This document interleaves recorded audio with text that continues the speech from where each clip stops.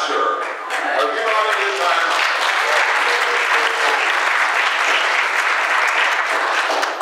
This is CRW's 50th anniversary celebration.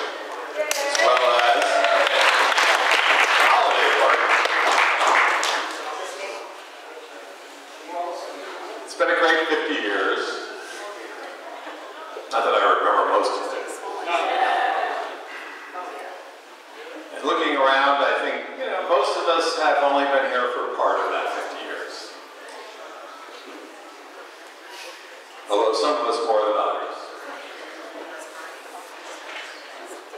In the last year, CRW has run you know, a whole bunch of celebratory rides, events. Many of you might have come to them. And the one thing that I've noticed about all those events is that it's in, sort of seamless. You know, our rides, whether we have food or not, whether we have a large turnout or a small turnout, they all share a community feeling. You know, people get together on their bicycles and do things like ride a bike together. Something that seems a little minor, but actually turns out to be a big deal in a lot of people's lives. So we've created a community, and this is a reflection of that community, this party. And as we go forward in the, the new age we find ourselves in, I think that this community, or any community, is really important.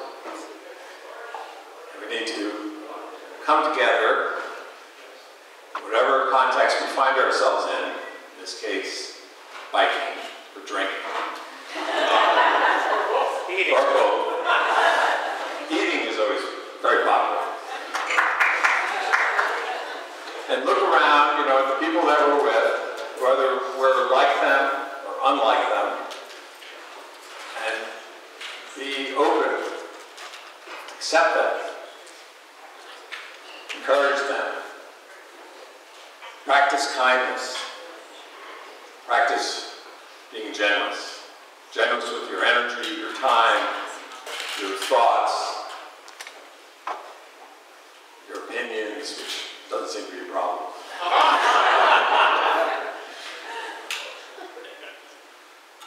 but form these communities. We are an integral part of a community in this area. We have a lot of energy, and with that energy, we have a lot of influence on ourselves and on others. So as CRW does its next 50 years,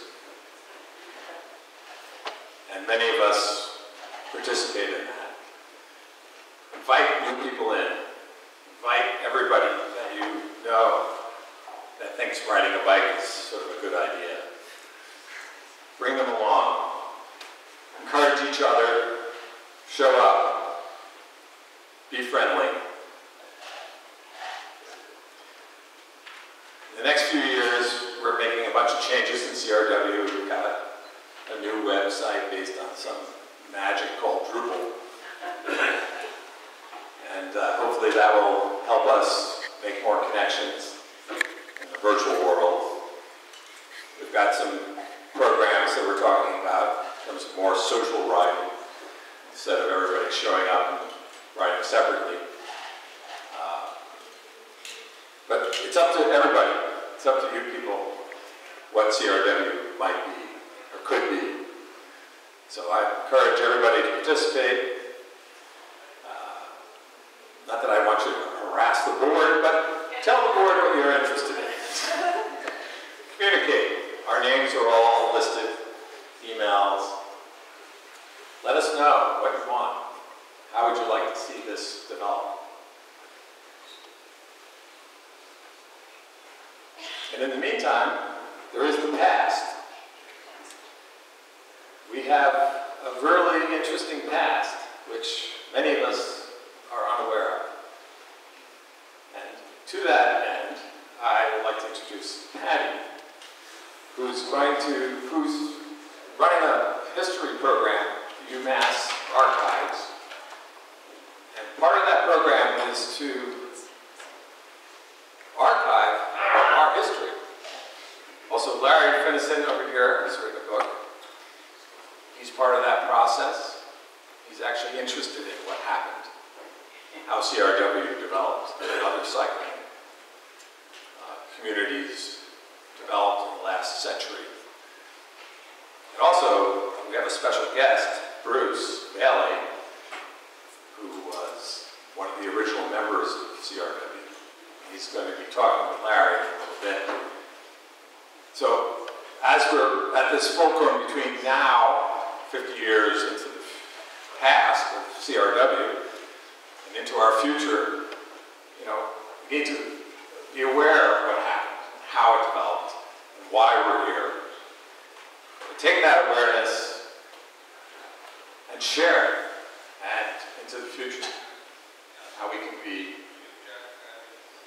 something that transitions into the only word I can really think of is a good group of people.